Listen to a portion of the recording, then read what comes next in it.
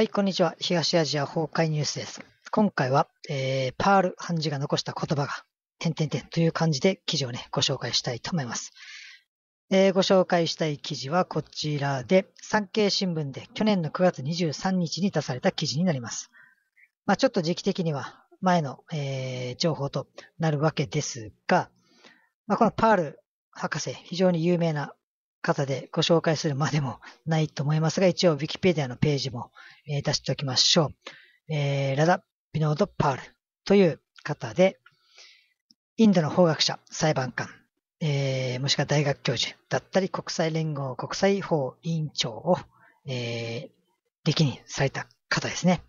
そして、まあ、この方がね、最も有名な理由として、東京裁判、第二次世界大戦後の東京裁判において、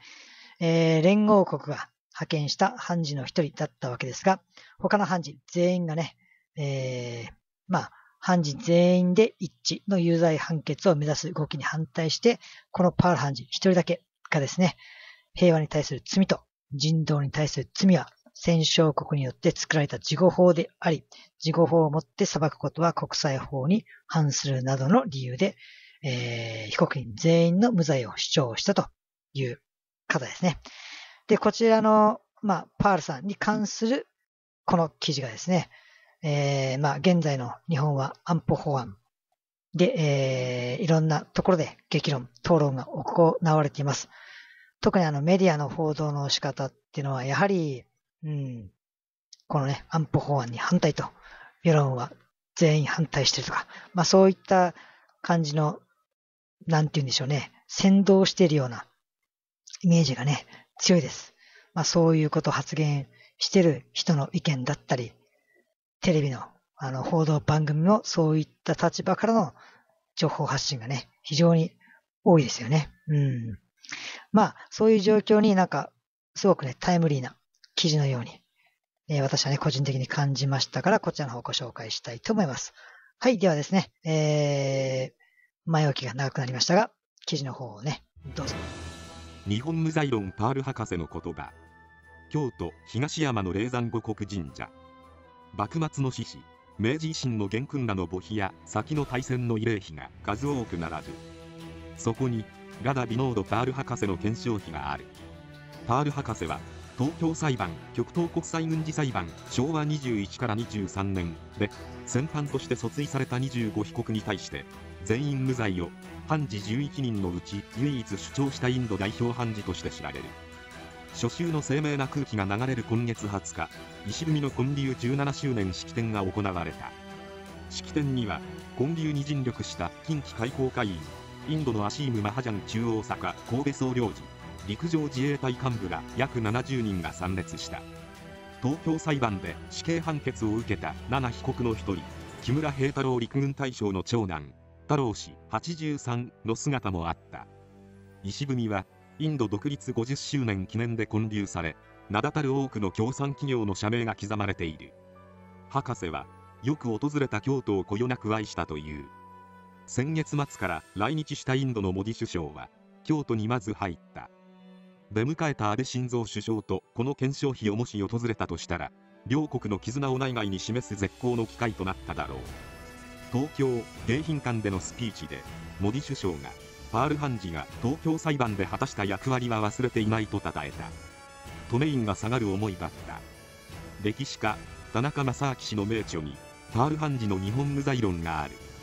法の支配と史実からの無罪の判事が明晰明晰に綴られる。博士が判決後に案じ続けたのは日本の断罪が判事されたいわゆる東京裁判士官が影を投げ続けていくことだった。博士は昭和27年10月の2度目の来日時に羽田空港での記者会見で前年に調印されたサンフランシスコ平和条約と日本の独立について質問され次のように答えた。日本は独立したと言っているがこれは独立でも何でもない。強いて独立という言葉を使いたければ反独立と言ったらいい。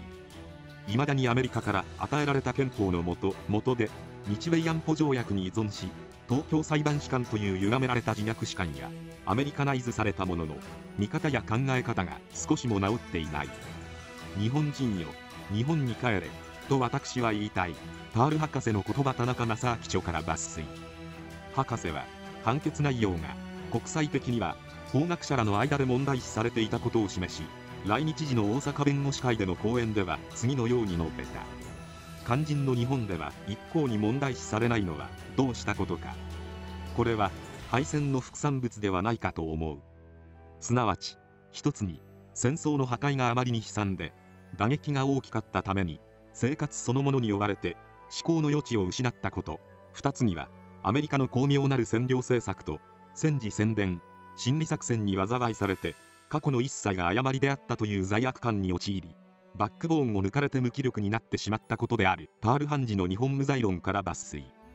過去の一切が誤りという。罪悪感との資源は戦後の日本の言論空間にあいも矢のようにかかり続けるいわゆる自虐的論調にもつながる指摘だ。日本と中間との間に漂い続ける歴史の折よどみ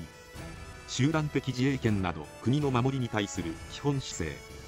ひいては国家間なき国家。博士の言葉の数々を今こそ噛みしめる時ではなかろうか。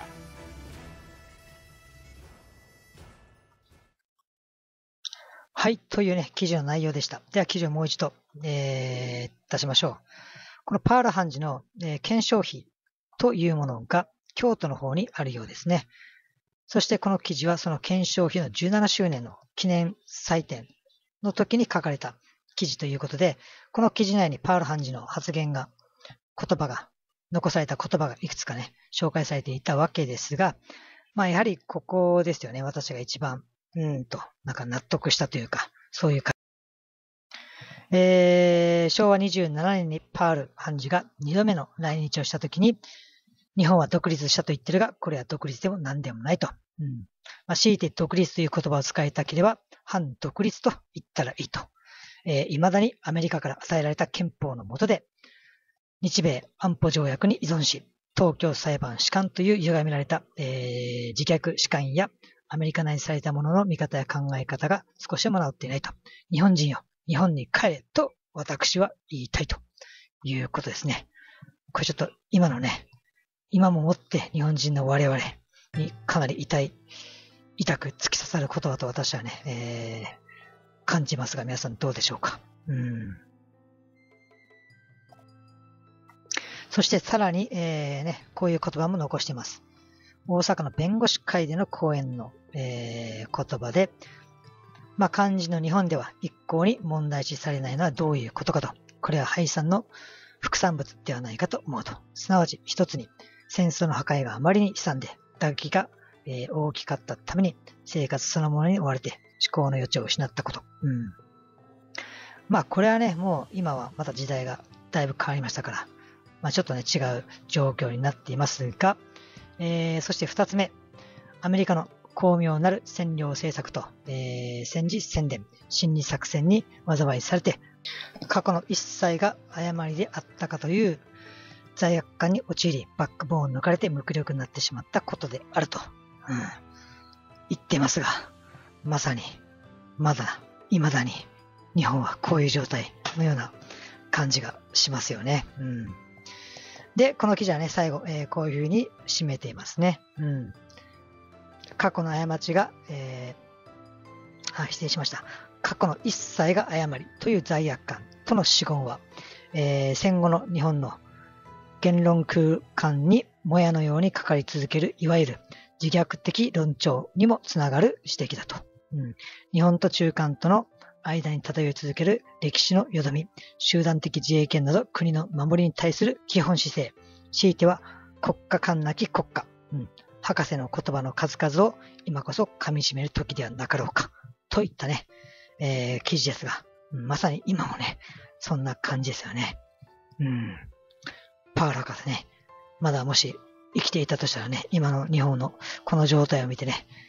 どんなことを言うんでしょうかと、うん、思ってしまった記事でした。はい。ではですね、えー、今回はこういうパールさんの言葉に関する記事をね、ご紹介してみました。動画をご視聴いただきありがとうございました。また次回の動画でお会いしましょう。